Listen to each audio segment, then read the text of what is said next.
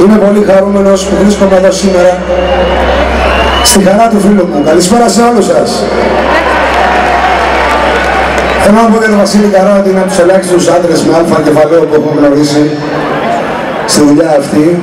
Άνθρωπος και τεράστιος τραγουδιστής για μένα, με συγκινεί πάντα όταν τον ακούω, οπότε είστε όλοι σας πολύ καλόγουστοι, να ξέρετε.